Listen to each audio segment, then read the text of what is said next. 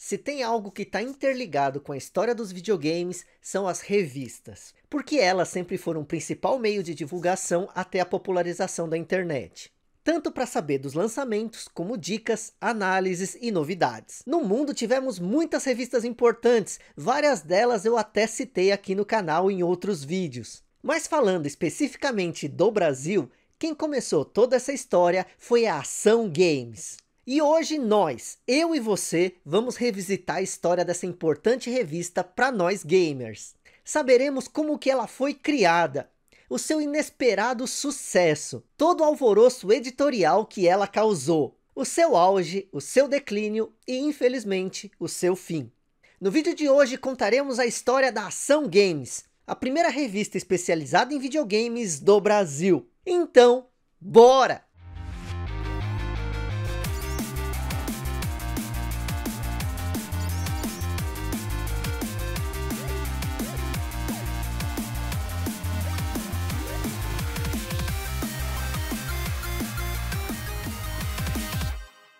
A origem a década de 90 foi marcante para os jogadores de videogame. Além de terem vivenciado a famosa guerra de consoles, foi nessa época que os jogos eletrônicos invadiram o Brasil. Em todas as direções. Tínhamos a Tectoy publicando jogos oficiais, e a Gradiente publicando jogos extra-oficiais. Fora o mundo de clones que haviam. Existiam as locadoras de videogame em cada bairro desse país. E nas bancas de jornais, as revistas de videogame faziam a alegria da garotada. Dentre tantas publicações especializadas, destaca-se a revista Ação Games, uma das pioneiras no mercado editorial brasileiro de jogos. Antes de se tornar Ação Games e vender milhares de exemplares entre jovens jogadores, a revista tinha outro nome. Inicialmente a publicação surgiu de outra revista, a chamada Semana em Ação. Inicialmente a Semana em Ação começou como uma revista de esportes e lazer, para substituir a revista Placar, que era focada somente em esportes. A mudança aconteceu por conta de diversos acontecimentos inesperados no mundo dos esportes brasileiros.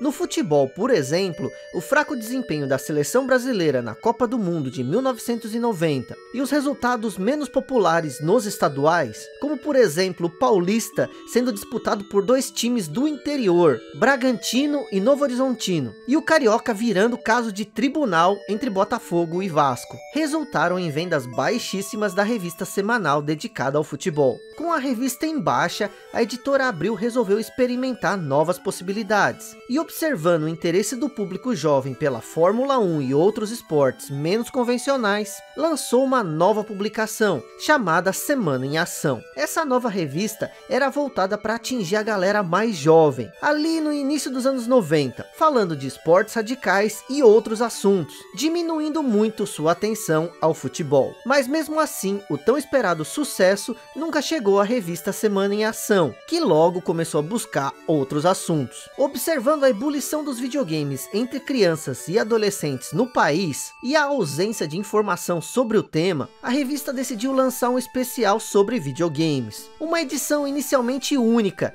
intitulada Semana em Ação Especial Games.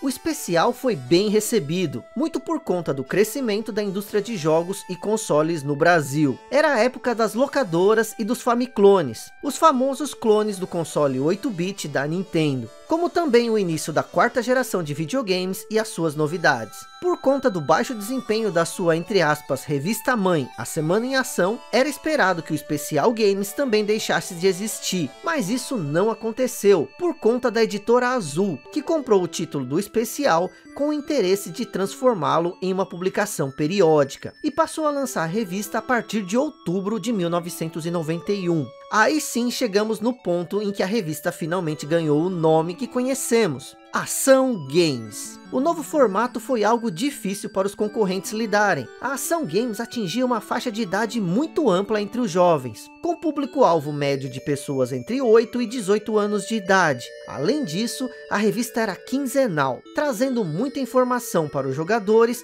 com um conteúdo novo, do qual nem mesmo os próprios idealizadores tinham total domínio.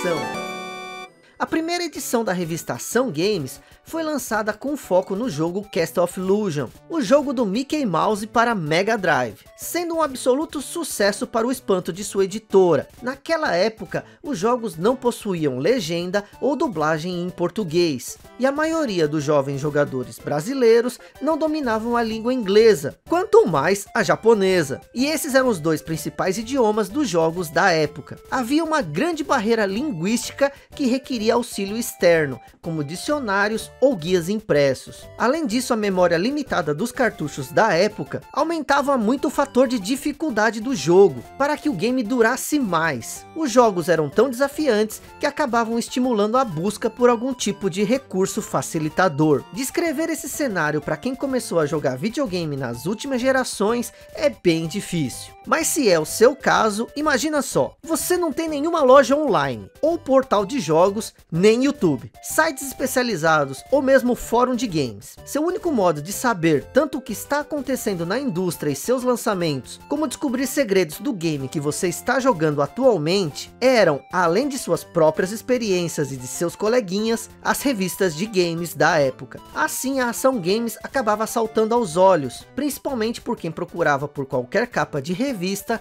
com conteúdo de videogame, pois eram chamativas, com cores vibrantes e frequentemente traziam fanarts das quais os leitores poderiam se identificar e sentir proximidade. Ela também contava com uma formatação especial, sendo maior que as outras revistas comuns, justamente para ser mais atrativa. Além disso, os termos destacados eram chamativos e acessíveis, não demorando para criar um público fiel a este formato. Com esse público e muito conteúdo a ser produzido, a equipe começou a usar o que eles chamavam de pilotos. Os pilotos eram garotos que jogavam os games e desvendavam seus mistérios, enquanto passavam os comandos e como cada coisa era feita para um redator. Foi o modo da editora lidar com a dificuldade de seus funcionários em jogar videogame. Afinal, a maioria deles era de uma geração que não cresceu com joysticks e tinha grande dificuldade para progredir em jogos mais difíceis. Um ambiente cheio de garotos era algo bastante incomum em uma editora, mas essa atmosfera criada por essa juventude ajudava a tornar o clima de trabalho mais divertido e descompromissado. O processo era feito dentro da própria sala de Regina Gianetti, principal responsável pela revista. Em uma entrevista para o portal UOL, Regina contou que precisava comprar cortinas pretas para escurecer seu escritório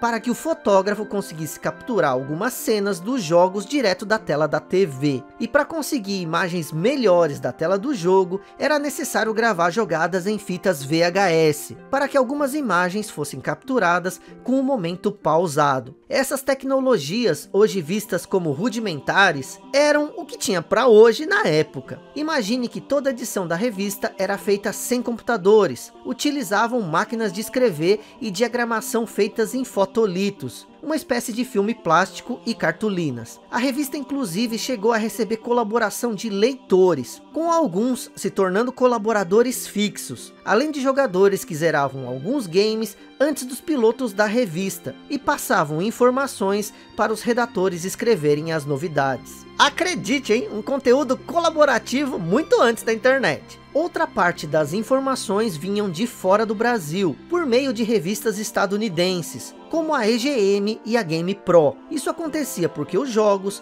assim como as informações, chegavam aos Estados Unidos meses antes, e às vezes até mesmo anos, antes de chegar ao Brasil. Havia também as revistas japonesas, que exigiam um trabalho maior. O editor precisava visitar o bairro da Liberdade e minerar entre os imigrantes japoneses e seus descendentes por algum material sobre games vindos do Japão além de contar com o serviço de um tradutor, é claro. Além de todo o trabalho na busca por informações sobre videogames, a revista ainda precisava buscar os jogos em si, tão antes quanto possível, para que o piloto pudesse jogá-lo, enquanto um jornalista escrevia o detonado do game assistindo a jogatina, para que, quando o jogo fosse lançado no Brasil, a revista seguinte saísse com todas as informações sobre o título em questão. Para isso, a revista mantinha um contato com distribuidores e locadoras, que emprestavam games em troca de publicidade. Havia até um espião da revista, que conversava com locadoras e outras publicações, se passando apenas por um fanático por videogame, para conseguir informações de como e onde conseguir os jogos primeiro. A Ação Games ainda investia bastante na divulgação, possuindo até mesmo comerciais de TV, sendo pioneira e referência nesse ponto. Sua marca ficou tão famosa que alguns cartuchos piratas a utilizavam em seus rótulos. Acredite se quiser.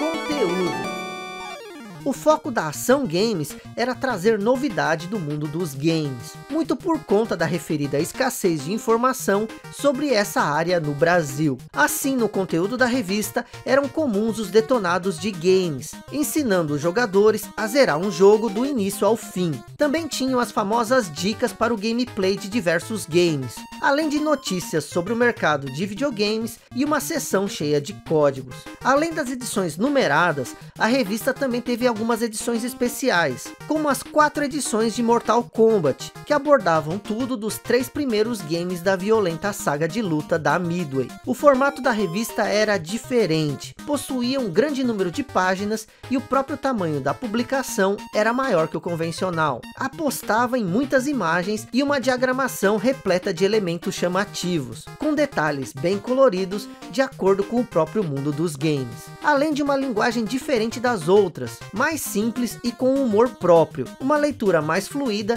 que se comunicava melhor com o jovem público-alvo. Mas claro, essa linguagem simples, bem humorada e próxima do leitor, não foi uma abordagem exclusiva da Ação Games. Por isso eu queria saber de você, você quer saber da história das outras revistas concorrentes da Ação Games? Diz aí nos comentários, beleza? Com o sucesso do formato e consequentemente da marca, a Ação Games recebeu propostas de licenciamento de outros países latino-americanos, chegando mesmo a ter uma versão argentina, sob o nome de Action Games. Aliás, a revista foi além. A evolução da Ação Games. Durante os anos que esteve em publicação, a Ação Games evoluiu bastante, com um começo bem simples, não demorou muito para que a grande fama fizesse com que a revista aumentasse sua qualidade, como melhora de papel e até mesmo um novo formato, que veio nos últimos anos de Ação Games, quando a editora Azul foi incorporada pela Abril, e a publicação passou a ter que se adequar ao alto padrão da nova editora. Além do avanço por ser uma revista bem relevante durante o seu período em atividade, a Ação Games conseguiu alguns anúncios de marcas bem conhecidas da época. Alguns exemplos são os da Tectoy, promovendo produtos da SEGA, os já conhecidos clones de Nintendinho, como Dynacon, e até mesmo a Playtronic, representante da Nintendo de forma oficial no Brasil. Outra adição que chegou à revista após anos de mercado, foi a criação do personagem Frango. O Frango sempre respondia às cartas dos leitores, de um jeito até meio grosseiro, digamos assim,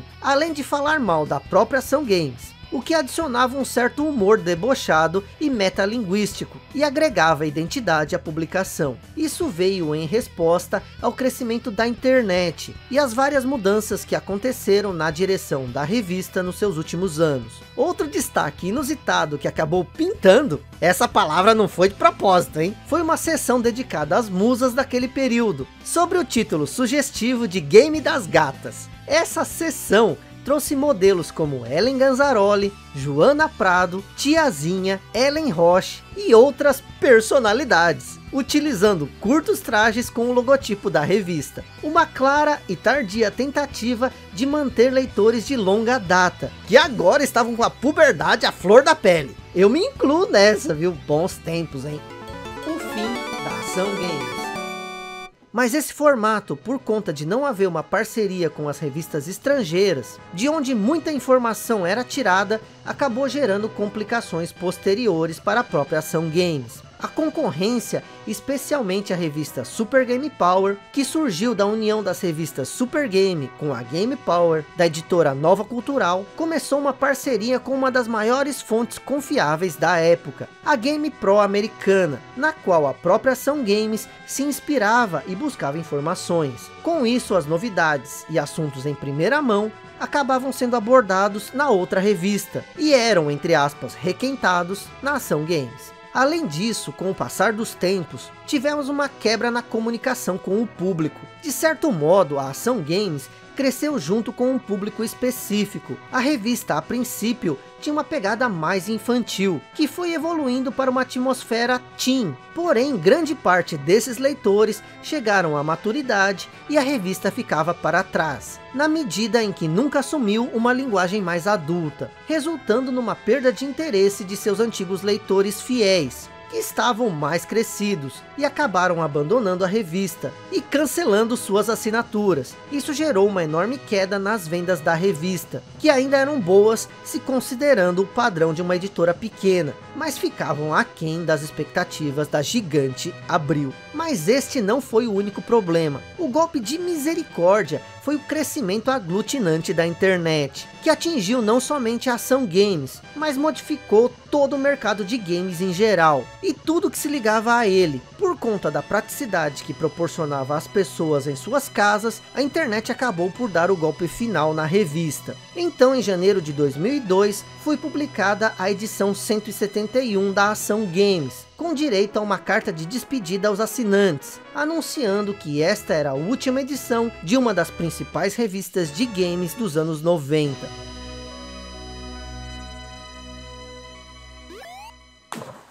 Contar algo para vocês. Eu comecei a trabalhar muito cedo e todo o dinheiro que eu ganhava tinha duas coisas reservadas. A primeira é uma quantidade diária para eu ir no fliperama. Era uma média de 4 a 5 fichas por dia. E o outro dinheiro reservado que eu tinha era para as revistas de videogame. Infelizmente essas revistas foram jogadas fora.